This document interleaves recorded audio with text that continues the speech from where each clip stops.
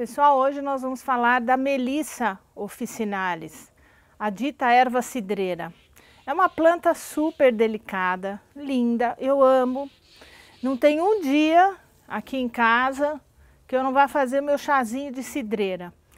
E nós temos outras plantas que também são chamadas cidreiras. Tem a cidreira de folha, que eu já vou mostrar no vídeo em seguida, para vocês distinguirem o que é a cidreira uh, delicada, que é a melissa, a outra cidreira de galho, de folha, que é uma cidreira mais robusta. E vamos gravar também o vídeo do capim santo, que muita, muita gente chama de erva cidreira. Eu vou mostrar as três para vocês. Mas qual é a função melhor da cidreira? A maior é calmante, né? Mas ela é só calmante? Não. Ela, além de ser calmante, sedativo, um, um, um chá delicioso e perfumadíssimo para você tomar antes de dormir, você também tem uma ação uh, gástrica, antiespasmódica, quer dizer, para os gases, quem tá, come, está passando mal de gases, aí toma um chazinho de erva cidreira. Você pode usar também a erva cidreira no chá para o herpes labial, você tem uma ação muito boa antiviral da erva cidreira. Poucas pessoas sabem que a erva cidreira ela é muito boa para quem tem hipertiroidismo, para quem tem excesso de funcionamento da tireoide, aumento dos hormônios da tireoide. Então ela diminui a função desses hormônios. Então, por outro lado, se ela é indicada para hipertiroidismo, ela é contraindicada para o hipotiroidismo.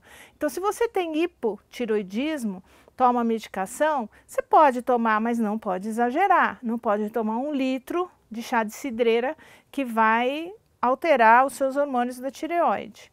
Para quem tem pressão baixa, tomar cuidado, tomar muita cidreira pode abaixar mais a pressão. Por outro lado, quem tem hipertensão, aumento de pressão, o chá de erva cidreira abaixa a pressão. É uma erva muito gostosa, muito aromática.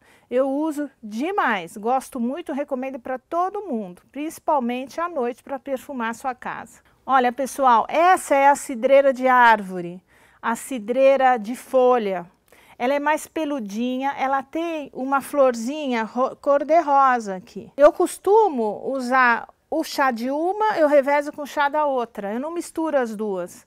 E eu sinto o efeito igual das duas, o mesmo efeito calmante, o mesmo efeito antiespasmódico, é, relaxante.